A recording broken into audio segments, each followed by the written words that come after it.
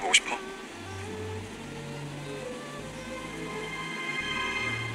싫어요. 저렇게 특별한 난고를 함부로 아무하고나 올라가고 싶지는 않아요. 음. 아이 무더기가 올라가기 무서운가 보다. 아.